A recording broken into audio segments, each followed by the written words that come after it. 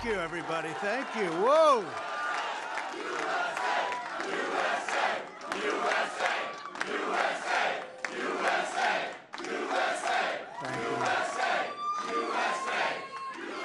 Well, I want to thank everybody. This is a fantastic state. This is a great, great state. You know, we won New Hampshire three times now. Three. Three.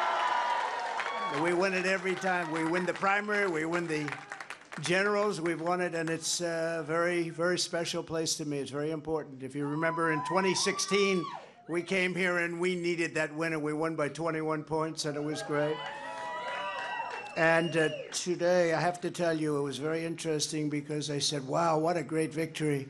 But then somebody ran up to the stage all dressed up nicely when it was at seven, but now I just walked up and it's at 14.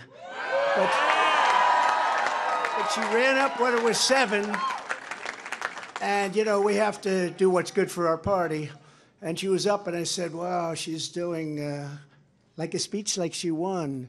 She didn't win, she lost. And you know, last last week we had a little bit of a problem and if you remember ron was very upset because she ran up and she pretended she won Iowa. And I looked around, I said, Didn't she come in third? Yeah, she came in third. And then I looked at the polls. She was talking about most winnability, who's going to win. And I had one put up. I don't know if you see it, but I have one put up. We've won almost every single poll in the last three months against crooked Joe Biden. Almost every poll. And she doesn't win those polls and she doesn't win this. This is not your typical victory speech, but let's not have somebody take a victory when she had a very bad night. She had a very bad night, and you uh, you have the you have the very the now very unpopular governor of this state. This guy, he's got to be on something. I've never seen anybody with energy. He's like uh, hopscotch, and uh, you know I'm, I'm watching this guy and two weeks ago, said, We're going to win, we're going to win in the landslide, we're going to win. About three days ago, I started saying, Well, we want to do well. That's a big difference. But I walked out just now, we're 14 points up, and I don't know what it's going to be. But when she was up here, it was like six or seven. And, you know, with like 7% of the vote counted.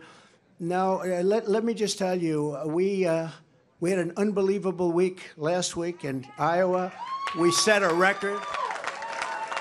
It was the best in the history of the caucus, in the history. And uh, I remember I sort of had the same feeling.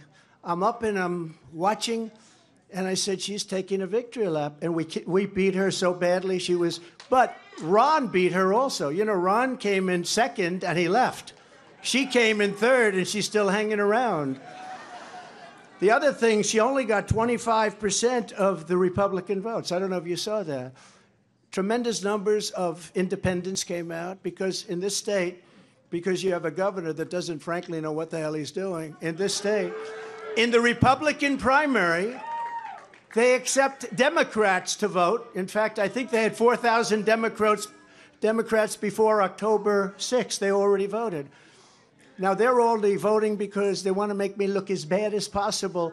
Because if you remember, we won in 2016. And if you really remember, and if you want to play it straight, we also won in 2020 by more. And we did much better in 2020 than we did in 2016.